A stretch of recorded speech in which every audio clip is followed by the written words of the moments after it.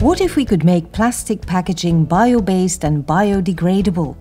Kaneka, with 330 employees in Westerlo, Belgium, successfully developed a foam particle that can be used for innovative and sustainable packaging solutions for both food and non-food. Not only end users, brand owners and even policymakers, but also producers are rethinking plastic.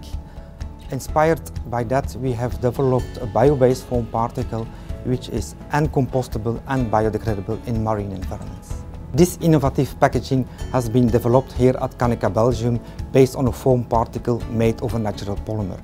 Nevertheless, where the material ends up, it will biodegrade into CO2, water and biomass by microorganisms available in nature.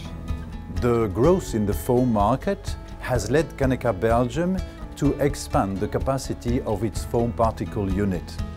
Our unique access to both the foam particle technology and the natural polymer PHBH is giving us way to the production, the manufacturing of a bio-based and biodegradable particle foam. Kaneka Belgium will invest 15 million euros in an extra production unit in Westerlo.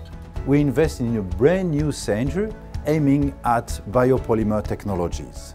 This innovation opens perspectives towards improved waste management systems and applications with a much smaller environmental footprint thanks to the biodegradable nature of the material.